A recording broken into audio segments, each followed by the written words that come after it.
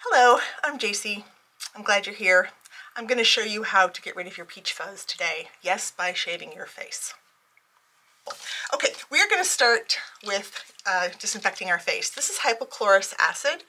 This is one I found on Amazon. I'll link it in the description. But um, and hypochlorous acid does a wonderful job at disinfecting without stripping your skin like uh, rubbing alcohol will. So I just to be safe, I always start out by giving myself a nice little spritz of hypochlorous acid. So I just let it air dry and then I get started.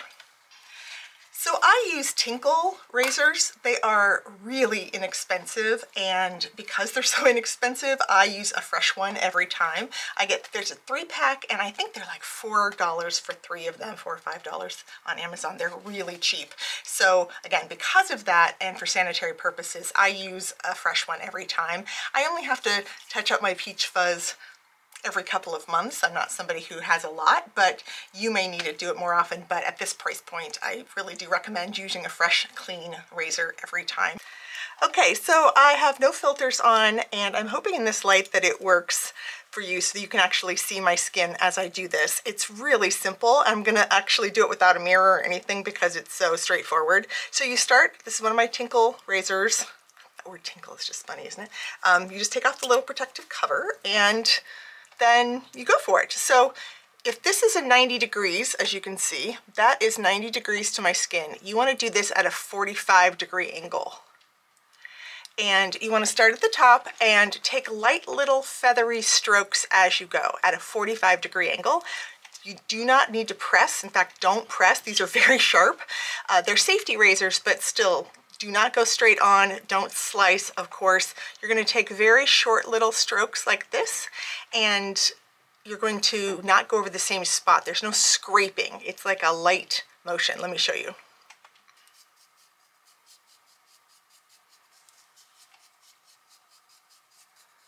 And as you can see, there's all of the little fuzz is coming off in little tumbleweeds around my face.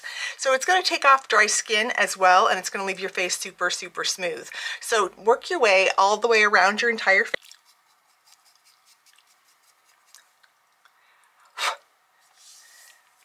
As you go, you're gonna wanna pull your skin taut as you can so that you're not going over the top of wrinkles and uh, most of us of a certain age, we definitely have wrinkles. And so you're gonna wanna pull your skin taut so that it's moving over a, a tight, not a, uh, a loose surface.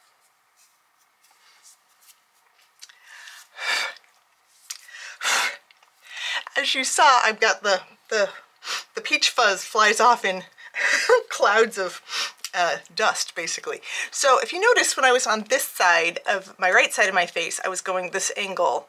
And then when I switch, so I'm using this side of the blade, when I switch to this side of my face, it's now using this side of the blade. So that way you use both sides of the, of the blade kind of evenly.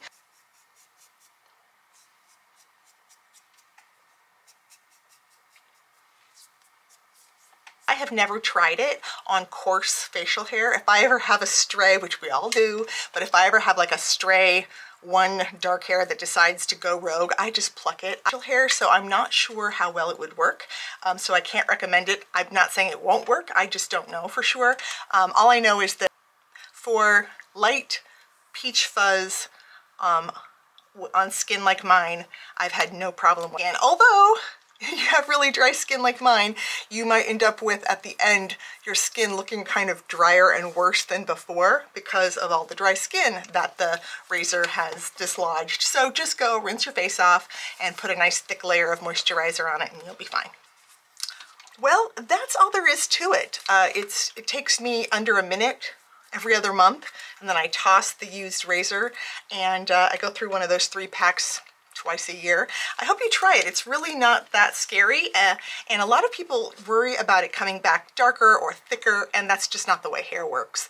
Um, when it does, when your peach fuzz does grow back, and it will grow back, but when it does, when I'm done, I hit myself with some more hypochlorous acid.